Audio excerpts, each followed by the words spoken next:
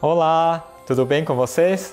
Hoje vamos ter mais uma participação especial que representará a outra ponta do Japão, Hokkaido. Meus amigos Vinícius Sadao Tamanaha e Yukie Yasunaga apresentarão uma música folclórica de Hokkaido, Donan Kudoki. Esta música era cantada por mulheres cegas chamadas de gozé, que iam de vila em vila cantar e tocar o shamisen. E era assim que recebiam os trocados para se sustentarem. Elas cantavam sobre as paisagens e as histórias que ouviam por onde passavam, entrelaçando o nome dos lugares de cada região. Com essa música, a Yuki foi classificada e premiada no concurso Minyo Mimbo Zenkoku Taikai, em Tóquio, em 2017. O Vinícius Sadal é músico formado pela Unicamp. Ele também aprendeu técnicas de músicas clássicas okinawanas com o mestre Hiroshi Makiya.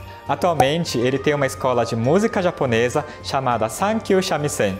A escola Sankyu Shamisen está postando conteúdos bacanas sobre música e cultura japonesa. Vale a pena conferir. Siga a dupla lá no Instagram e no Facebook. Os links estão na descrição do vídeo. E vocês estão gostando das apresentações? Me conta aqui nos comentários. E se tiver, já deixe o seu like. E também gostaria de agradecer todo mundo que já se inscreveu no canal, que já ativou o sininho e que sempre compartilhe os nossos vídeos. Fiquem agora com a música folclórica de Hokkaido, Donan Kudoki, com Vinícius Sadao e Yuki Yasunaga.